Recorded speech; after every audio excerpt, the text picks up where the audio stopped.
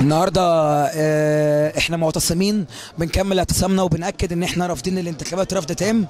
لأن الانتخابات الانتخابات استحالة استحالة تكون بتجيب حق الناس اللي ماتت في في شارع محمد محمود واللي عدوا ال 40 شهيد لغاية دلوقتي حوالي 2000 مصاب. آه تقريبا المجلس العسكري بيتبع خطة التنويم المغناطيسي مع الشعب تاني. نفس الكلام اللي كان بيعمله مبارك. ضربوا ناس كتير وموتوا ناس كتير وفي الآخر جايين بيقولوا نعمل انتخابات أو نعمل استفتاء. لا إحنا رافضين الاستفتاء ورافضين الانتخابات ورافضين حكومة الجنزوري لأن إحنا بنعتبر الجنزوري آه، من الفلول. لما يكون هو من الحزب الوطني يبقى من الفلول. وفي نفس الوقت كان أيام أيام مبارك. وده راجل كبير في السن إزاي تكون الثورة ثورة شباب؟ وإحنا عايزين آه، يعني فعل شبابي شوية ويكون آه، البرلمان برلمان شبابي م- يعني برلمان شعبي من الميدان. طبعا إحنا مش شايفين دوت ولا شايفين أي قرار يشجع الثوار حتى إن هم يفضوا اعتصامهم. والكلام كله كلام وهمي. مفيش أي قرار اتاخد يدي الناس أمل إنها تمشي. حتى المصابين والشهداء مفيش اعتراف بيهم.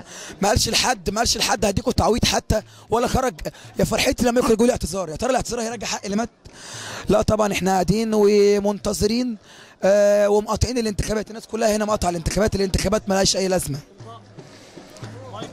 آه مايكل حركة الأباط أحرار.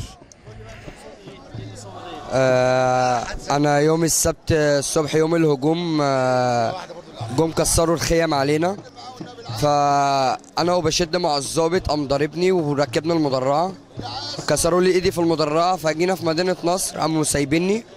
وأول لما جيت هنا خدوا ساعتها خدوا مني البطاقة والشريحة بتاعت التليفون وسابوني بعد الضرب. قمت رايح مستشفى خاص ما رضيتش أروح مستشفى حكومة جبست إيدي. فوصلت هنا الميدان. أول لما وصلت طبعا لقيت الهجوم بقى من الأمن المركزي على الميدان. فابتديت بقى مع مع أخواتي وأصحابي والدنيا كلها ابتديت إن أنا أضرب. خلاص بقى ما هو إحنا مش هنفضل ساكتين كتير ولا فجي في رجلي رصاصة يوم السبت آه، حي. اهيت وجي آه، بليتين. ماشي. دي أهم من الكلام. هو دوت. دي أهم من الكلام. وبعد كده إحنا كن من ساعتها قررنا إن إحنا نعتصم لحد حقنا ما يرجع بجد. أول شهيد وقع كان يوم السبت فإحنا خلاص. قبل كده قلنا في شهداء وقعوا. هيتحاكموا محدش يتحاكم. ونفسه هو هو النظام القديم. لا إحنا مش بأمر الله مش هنمشي غير لما كل مطالبنا اللي بجد اللي إحنا عايزينها هتتحقق ماشي. طبعا مع حضرتك عماد من حركة الاباط الأحرار.